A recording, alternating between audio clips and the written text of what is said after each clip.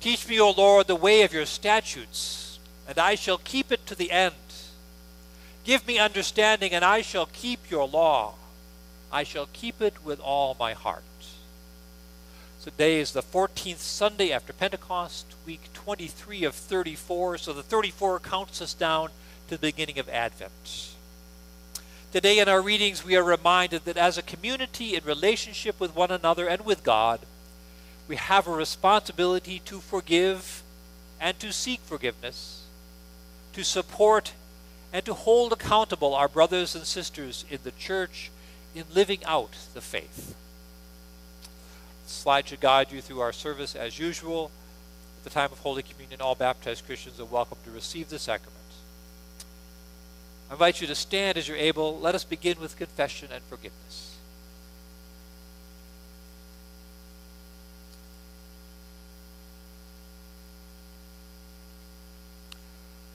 Blessed be the Holy Trinity, one God, who creates, redeems, and sustains us and all of creation. Amen. Let us confess our sin in the presence of God and of one another.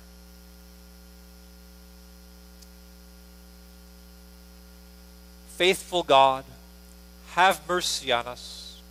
We confess that we are captive to sin and cannot free ourselves. We turn from your loving embrace and go our own ways. We pass judgment on one another before examining ourselves. We place our own needs before those of our neighbors. We keep your gift of salvation to ourselves. Make us humble, cast away our transgressions, and turn us again to life in you through Jesus Christ, our Savior and Lord. Amen. God hears the cries of all who call out in need, and through his death and resurrection, Christ has made us his own. Hear the truth that God proclaims. Your sins are forgiven in the name of Jesus Christ. Led by the Holy Spirit, live in freedom and newness to do God's work in the world. Amen. We sing together, Praise my soul, the King of heaven, the God of heaven.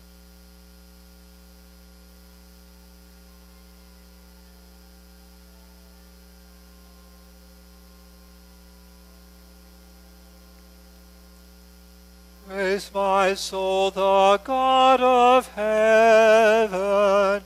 Joyfully your tribute ransomed, healed, restored, forgiven, evermore God's praises sing. Alleluia, Alleluia, praises everlasting ring. God be praised for grace and favor to our forebears in distress. God be praised the same forever, slow to chide and swift to bless. Alleluia, Alleluia. Glorious is God's faithfulness. Frail as summer's flower we flourish, blows the wind and it is gone. But as mortals rise and perish, God endures unchanging on. Alleluia, Alleluia, praise the great eternal one. Angels sing in adoration, in God's presence face to face sun and moon and all creation, all who dwell in time and space.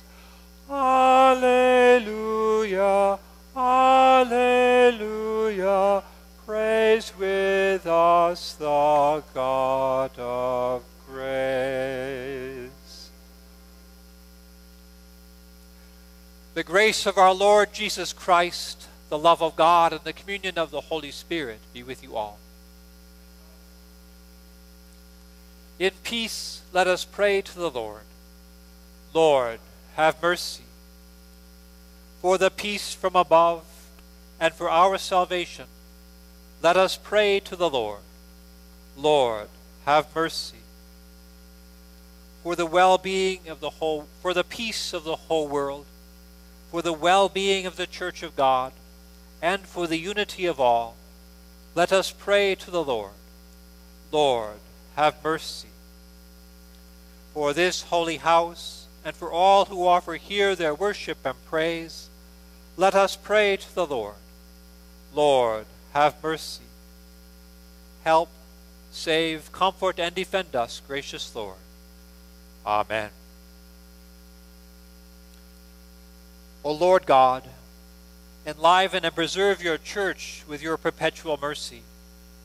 Without your help, we mortals will fail. Remove far from us everything that is harmful, and lead us toward all that gives life and salvation. Through Jesus Christ, our Savior and Lord. Amen. Please be seated for the reading of the Word.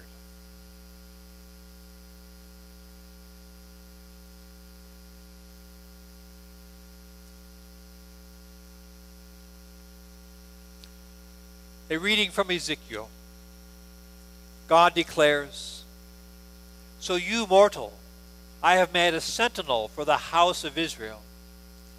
Whenever you hear a word from my mouth, you shall give them warning from me. If I say to the wicked, O wicked ones, you shall surely die, and you do not speak to warn the wicked to turn from their ways, the wicked shall die in their iniquity, but their blood I will require at your hand. But if you warn the wicked to turn from their ways, and they do not turn from their ways, the wicked shall die in their iniquity, but you will have saved your life. Now you mortal, say to the house of Israel, Thus you have said, Our transgressions and our sins weigh upon us, and we waste away because of them. How then can we live? Say to them, As I live, says the Lord God, I have no pleasure in the death of the wicked, but that the wicked turn from their ways and live. Turn back. Turn back from your evil ways. For why will you die, O house of Israel? The word of the Lord. Thanks be to God. Let us read this psalm responsively. Teach me, O Lord, the ways of your statutes and I shall keep it to the end. Give me understanding, and I shall keep your law. I shall keep it with all my heart. Make me go in the path of your commandments, for that is my desire. Incline my heart to your decrees, and not to unjust gain. Turn my eyes from watching what is worthless. Give me life in your ways fulfill your promise to your servant, which you make to those who fear you. Turn away the reproach which I dread, because your judgments are good. Behold, I long for your commandments. In your righteousness, preserve my life. A reading from Romans. Owe to no one anything except to love one another. For the one who loves another has fulfilled the law. The commandments you shall not commit adultery, you shall not murder, you shall not steal, you shall not covet, and any other commandment are summed up in this word love your neighbor as yourself. Love does no wrong to a neighbor, therefore, love is the fulfilling of the law. Besides this, you know what time it is how it is now the moment for you to wake from sleep. for salvation is nearer to us now than when we became believers. The night is far gone, the day is near. Let us then lay aside the works of darkness and put on the armor of light. Let us live honorably, as in the day, not in reveling and drunkenness, not in debauchery and licentiousness, not in quarreling and jealousy. Instead, put on the Lord Jesus Christ and make no provision for the flesh to gratify its desires. The word of the Lord. Thanks be to God. I invite you to stand as you're able for the gospel acclamation. Hallelujah. In Christ, God was reconciling the world to himself, entrusting the message of reconciliation to us. Alleluia. The Holy Gospel according to Matthew. Glory to you, O Lord. Jesus said to the disciples, If another member of the church sins against you, go and point out the faults when the two of you are alone. If the member listens to you, you have regained that one. But if you are not listened to, take one or two others along with you, so that every word may be confirmed by the evidence of two or three witnesses. If the member refuses to listen to them, tell it to the church. And if the offender refuses to listen even to the church, let such a one be to you as a Gentile and a tax collector. Truly I tell you, whatever you bind on earth will be bound in heaven, and whatever you loose on earth will be loosed in heaven. Again, truly I tell you, if two of you agree on earth about anything you ask, it will be done for you by my Father in heaven. For where two or three are gathered in my name, I am there among them.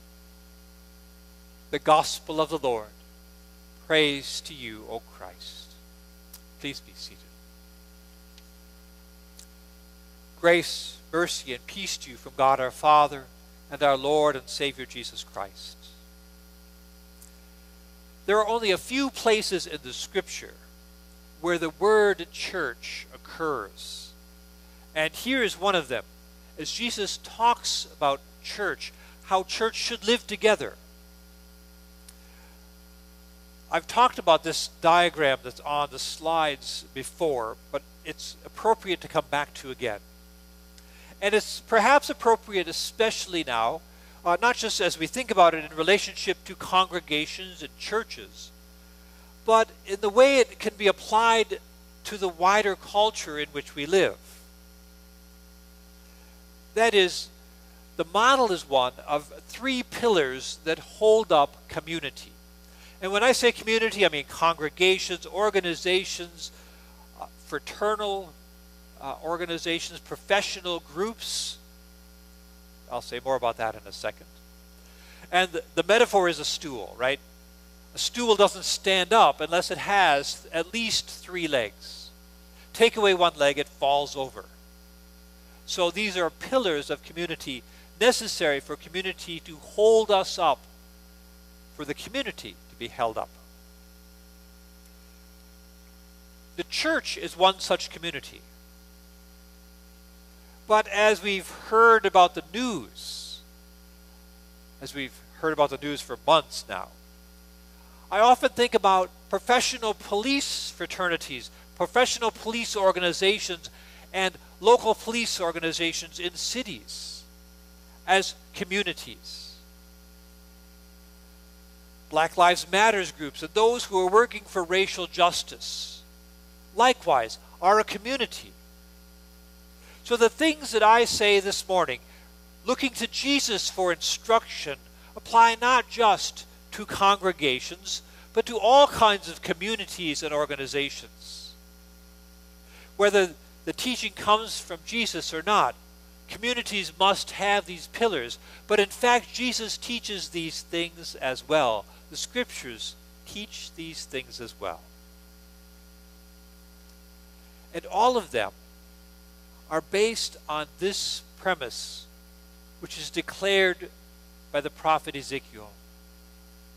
The Lord says, I, I have no pleasure in the death of the wicked, but that the wicked may turn from their ways and live.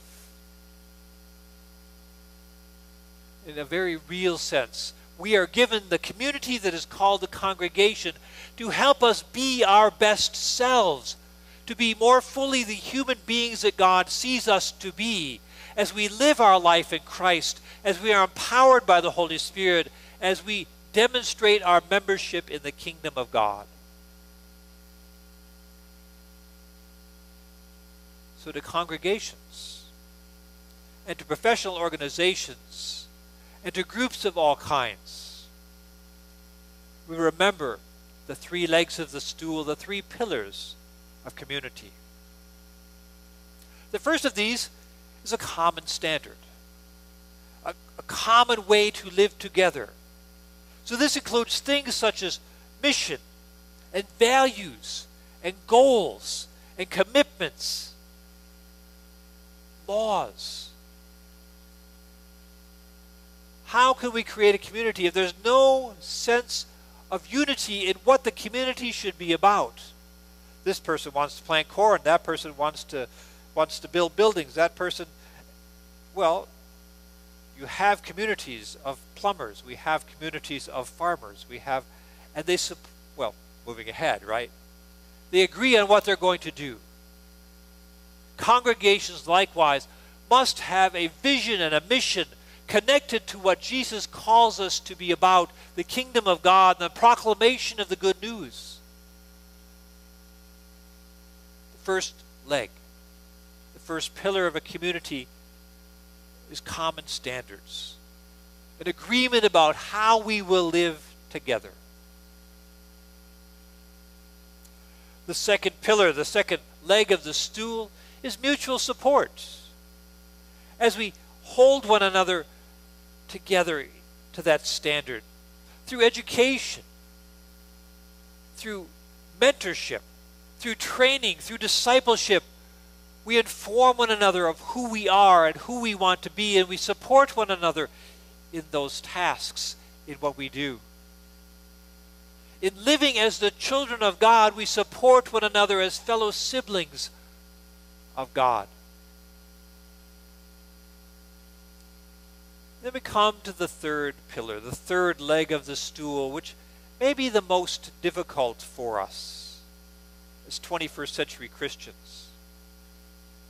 Because we've, we've been steeped in a culture that says you are individuals, you are free individuals, you should get to do whatever you want.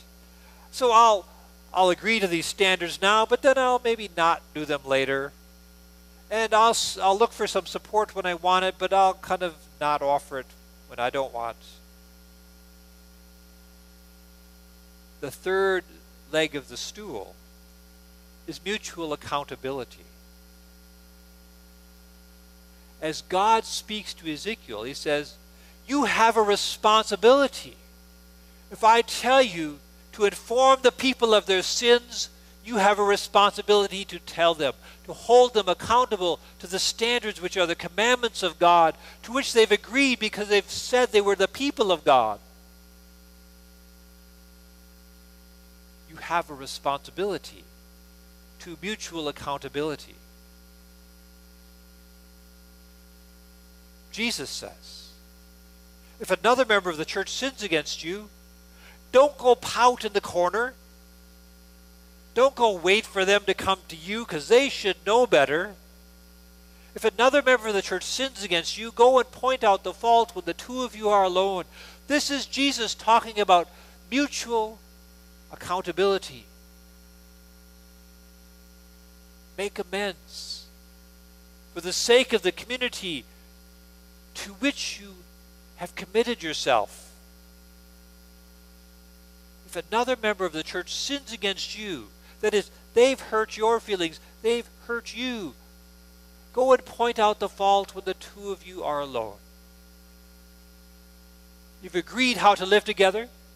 You've hopefully trained one another and supported one another and educated one another in how to live together. And when that fails, as it will, because we are broken and fallen sinners, seek reconciliation. Seek to make it right. That's mutual accountability.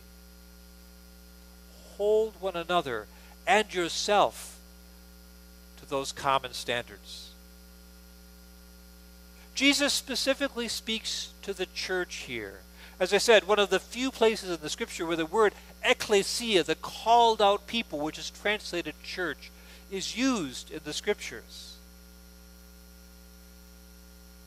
And he says, begin this process one on one as a demonstration of love for the neighbor. Go and point out the fault when the two of you are alone. If the member listens to you, you have regained that one. Community has been restored. Someone has been set back on the path, and you have come with them.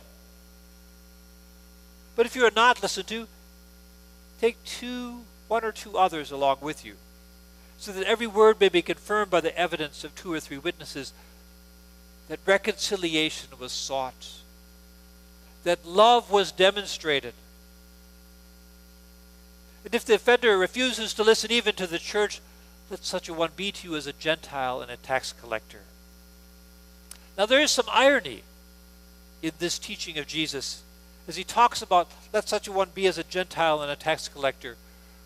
For the Pharisees overhearing Jesus, they would have said Gentiles and tax collectors, they should be kicked out and never talked to again.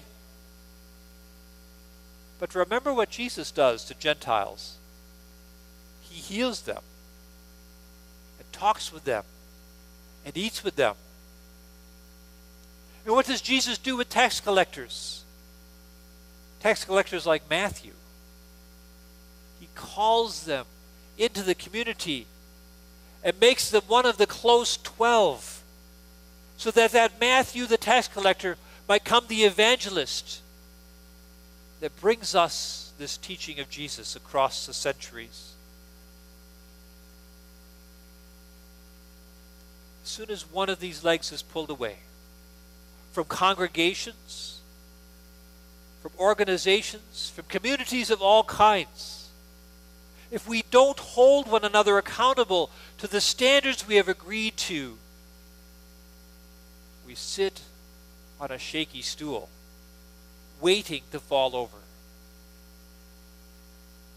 Think of the organizations, the groups, the communities of which you are a part. Family, City of Janesville, St. John Lutheran Church, maybe clubs and organizations, maybe professional groups. See how this teaching of Jesus reminds us of what is needed we must take the initiative for reconciliation. The stool does not stand with only two legs.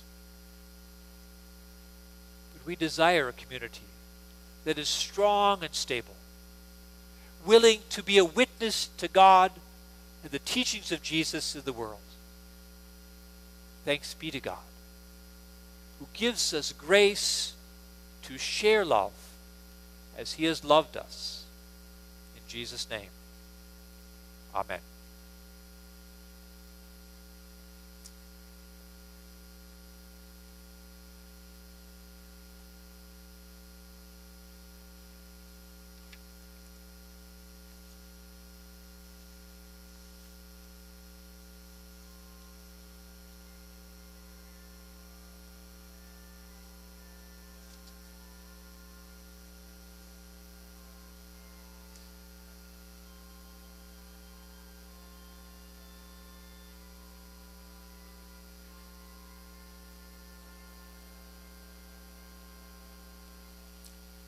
Day of our rising, Christ on the roadway, unknown companion walks with his own.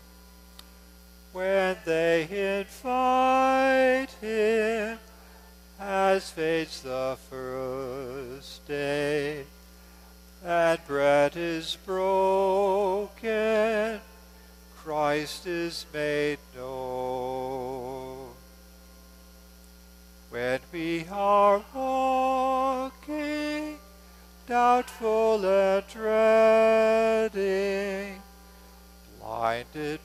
sadness, lowness of heart. Yet Christ walks with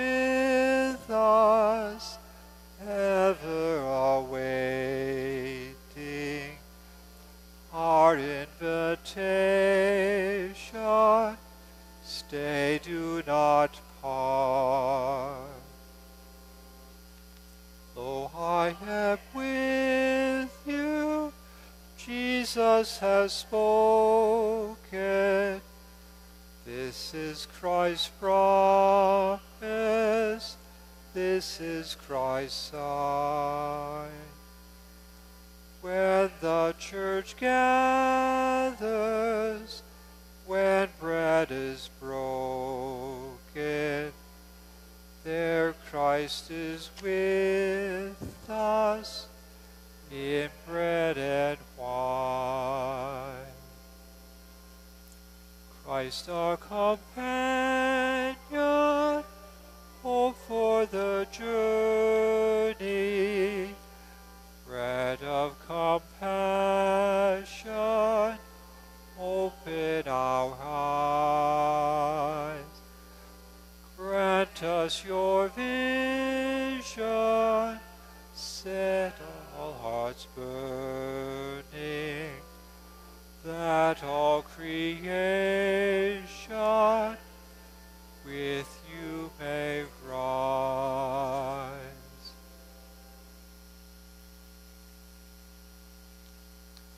The peace of Christ be with you always. God has made us God's people through our baptism into Christ.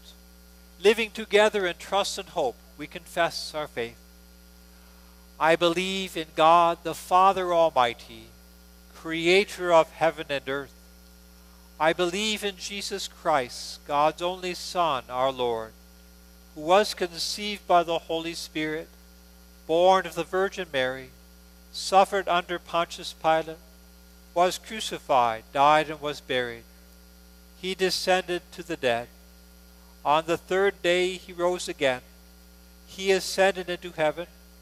He is seated at the right hand of the Father, and he will come to judge the living and the dead.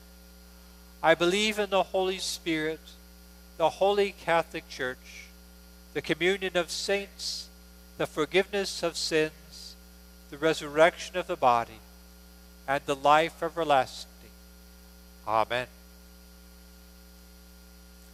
Drawn together in the compassion of God, we pray for the church, the world, and all those in need.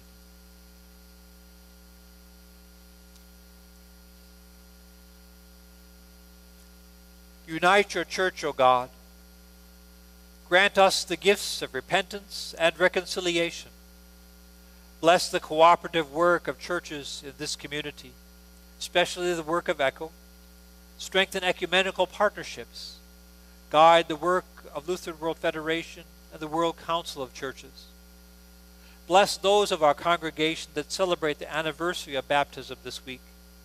Timothy Wright, Jennifer Yeomans, Colin Ruiz, Blake Ruiz, Devin Hergert, Maxwell Acari, Brandon Waples, Ronald Innocenti, Amelia Lacari, Barbara Cleesby, Morgan Arneson, Zachary Martin, Parker Madison, Jenna Randall, and Dylan Kirsten. Lord, in your mercy, hear our prayer. Protect your creation, O God. Teach us ways that do not harm what you have entrusted to our care. Renew and enliven places suffering from drought, floods, storms, or pollution. Lord, in your mercy, hear our prayer. Turn nations and leaders from ways that lead to death. Shape new paths toward peace and cooperation, teaching us to recognize one another as neighbors. Guide legislators, civil servants, judges, and police toward laws that protect the well being of all. Lord, in your mercy, hear our prayer. Tend to all in need of your compassion. Hear the cries of those awaiting justice and those yearning for forgiveness. Give community to the lonely and neighbors to the outcast. Shelter all who are vulnerable in body, mind, or spirit. We pray especially for Elaine, Mavis, the family of Susan, the family of Gloria, Annette, Judy, Ed, Larry, Lois, Carol, Karen, Jean, Carl, Patty, Bev, Jennifer, Gloria, those affected by COVID 19, and those we name now silently or aloud.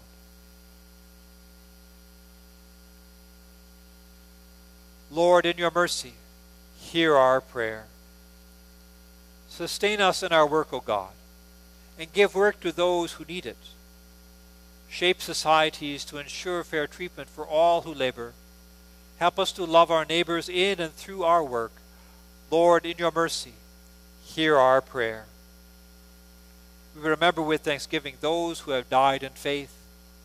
As you equipped them, equip us with your protection and power until we until with them we see your salvation. Lord, in your mercy, hear our prayer.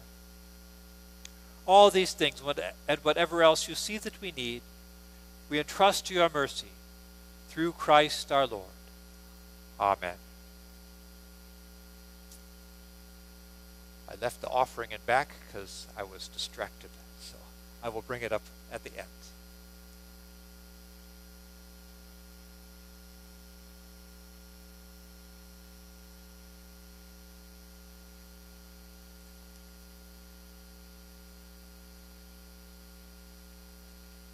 Lord God, wellspring of peace and true worship, let our offering come before you as fitting homage to your glory, and let our partaking of these sacred mysteries unite our hearts in faith.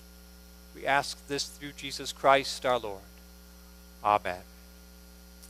Let us recite together the offering psalm. What shall I render to the Lord for all his benefits to me? I will offer the sacrifice of thanksgiving and will call on the name of the Lord. I will take the cup of salvation and will call on the name of the Lord. I will pay my vows to the Lord now, in the presence of all his people, in the courts of the Lord's house, in the midst of you, O Jerusalem. Glory to the Father, and to the Son, and to the Holy Spirit as it was in the beginning, is now, and will be forever. Amen.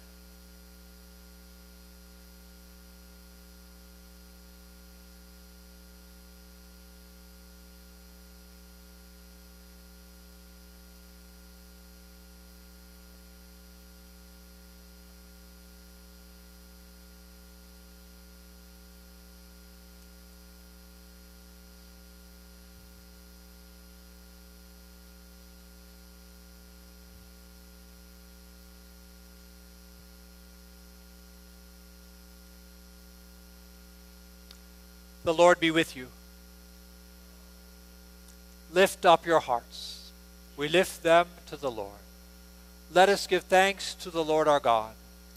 It is right to give our thanks and praise. It is indeed right and salutary that we should at all times and in all places offer thanks and praise to you, O Lord, Holy Father, through Christ our Lord, who on this day overcame death and the grave and by his glorious resurrection open to us the way of everlasting life. And so with the church on earth and the hosts of heaven, we praise your name and join their unending hymn. Holy, holy, holy Lord, Heaven and earth are full of your glory. Hosanna in the highest. Blessed is he who comes in the name of the Lord. Hosanna in the highest. Holy God, our bread of life, our table, and our food. You created a world in which all might be satisfied by your abundance. You dined with Abraham and Sarah, promising them life. and fed your people Israel with manna from heaven. You sent your Son to eat with sinners and to become food for the world. In the night in which he was betrayed, our Lord Jesus took bread and gave thanks, broke it, and gave it to his disciples, saying, Take and eat. This is my body, given for you. Do this for the remembrance of me. Again, after supper, he took the cup, gave thanks, and gave it for all to drink, saying, This cup is the new covenant in my blood, shed for you and for all people, for the forgiveness of sin. Do this for the remembrance of me.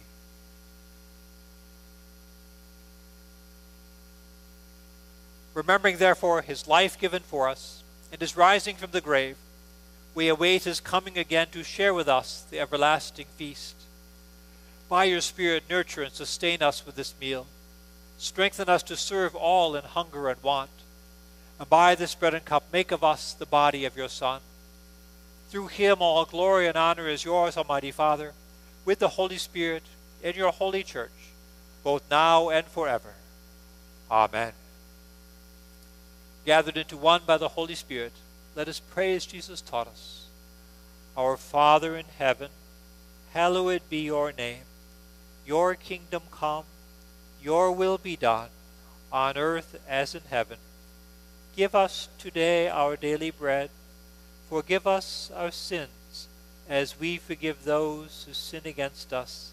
Save us from the time of trial, and deliver us from evil. For the kingdom, the power, and the glory are yours, now and forever. Amen. Here's the banquet table where Christ gives himself as food and drink. Thanks be to God. Please be seated as we sing the Lamb of God.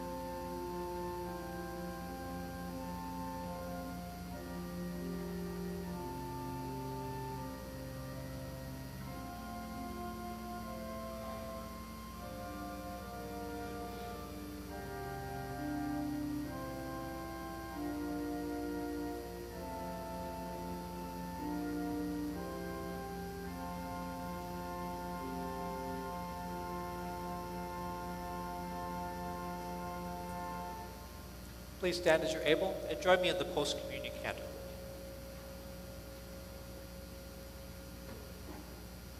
Lord, now you let your servant go in peace. Your word has been fulfilled. My own eyes have seen the salvation which you have prepared in the sight of every people, a light to reveal you to the nations and the glory of your people Israel. Glory to the Father, and to the Son, to the Holy Spirit, as it was in the beginning, is now, and will be forever. Amen. Lord, at the table of your word and sacrament, you nourish your faithful and give them life. Grant that through these gifts of your Son we may advance in holiness and be worthy to share his life forever. We ask this through Jesus Christ our Lord. Amen.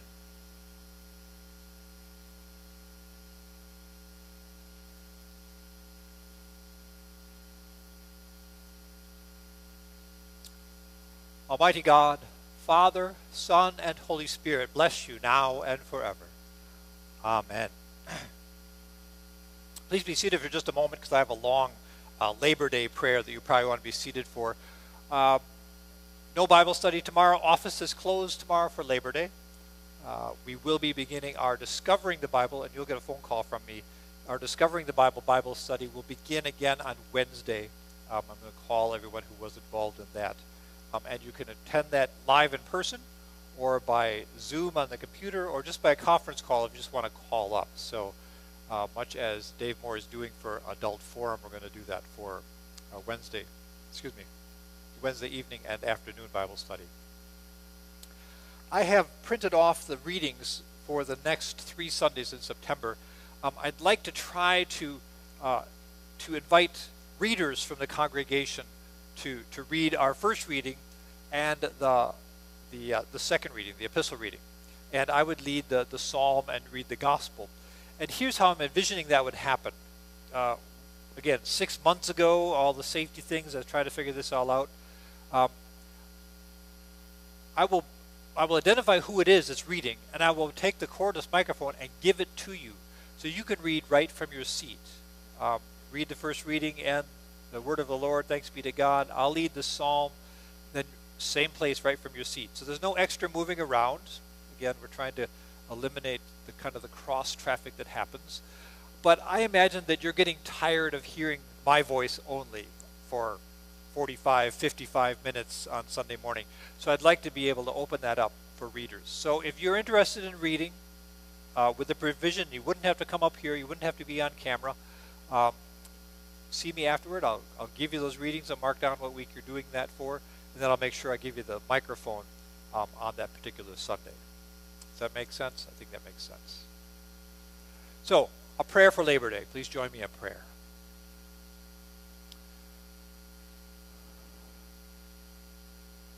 Lord of life, you have given us six days on which to work and modeled resting in your word on the Sabbath. We give thanks for fair labor practices that offer time for worship, rest, and leisure as balance to our daily work. We pray for good and productive work in our professions and pursuits, for the welfare of our neighbors. We pray for just and safe working conditions for all, for living wages, for honor and dignity in our employment. We pray that you work against all forces that steal human dignity or rob communities of the economic support they need from their labors to live sufficiently and well. For all those who defend the dignity of work, and all those who help us discover how to connect our faith to work, we give you thanks.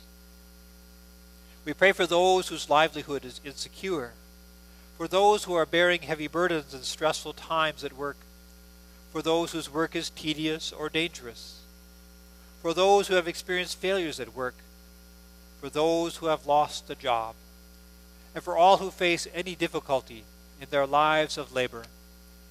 Surround them with your never failing love. Free them from restlessness and anxiety, and keep them in every perplexity and distress.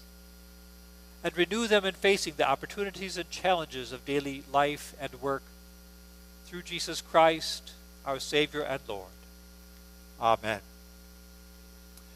I invite you to stand as you're able. We sing Joyful, Joyful, We Adore Thee.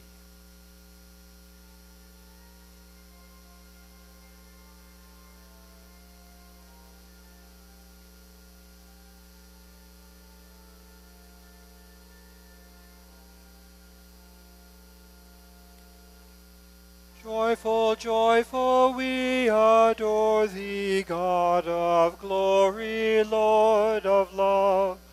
Hearts unfold like flowers before thee, praising thee, their sun above.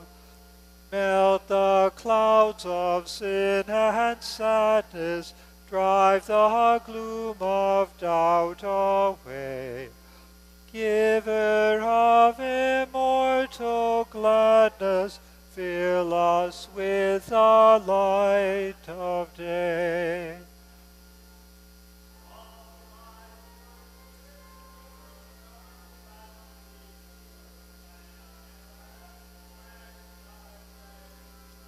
Stars and angels sing around thee, center of unbroken praise. Field and forest, vale and mountain, flowery meadow, flashing sea, chanting bird and flowing fountain,